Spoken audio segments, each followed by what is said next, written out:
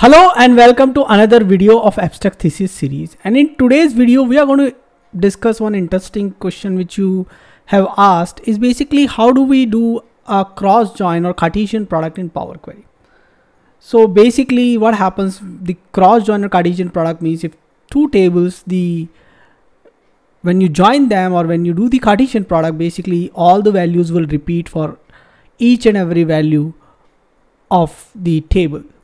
So let me take you through Power BI and let me explain you the function, the cross join function which is there in the DAX and then the question is how do we do that in Power Query. So let me do one thing is basically in Power BI desktop I'm going to use enter data which is under the home tab and I'm going to create two tables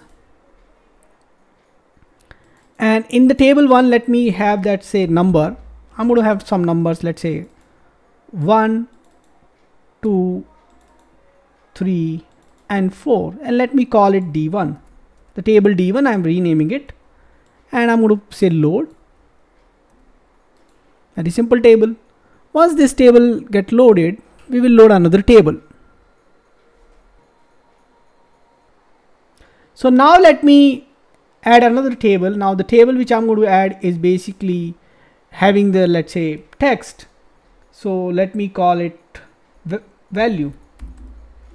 And let me have value let's say A, B and C. Only three values. And let me call this table as D2 and let me say load. Very simple stuff. Two tables having one one column. Now I go to the table view and I'll show you these tables so D1 has 1, 2, 3, 4, D2 has ABC. Now how do we do a cross join? So in the DAX, in we go to the table tools. When we click on any of the table, we will get the table tool. And in the table tool, you have new table. Click on the new table and say cross. The name left hand side is the name, and then we have a function cross join. We can give tables. So I give D1, comma D2, two tables and I just press enter. Now what you see is uh, 1, 2, 3, 4, A, A, A, A, 1, 2, 3, 4, B, B, B, B, 1, 2, 3, 4, C, C, C, C. Now I want the same thing in Power Query. How do I do that? So I go to my report view or I could have done from there also and I go to transform data which is in the middle of the home tab. And there I have another option transform data which will take me to Power Query let me bring in the Power Query window here. Now how do I do it in Power Query? So if you remember we have something known as merge queries under the home tab of Power Query on the right. But here when you go to the merge queries, you don't have any option for Cartesian. And even if we do full outer join, it's not going to serve our purpose, especially there is no join column here. So how do I do that? Now to do that, what I can do is I can take any one of these table and go ahead and create a new column. Add column.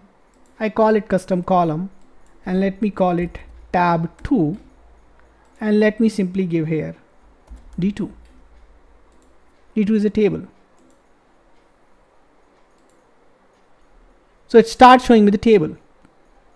Now once I get a table in a column, it start giving me an expand icon.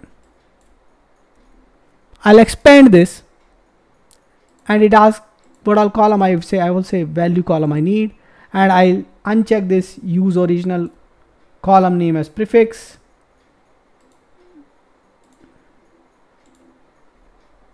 Let me press OK.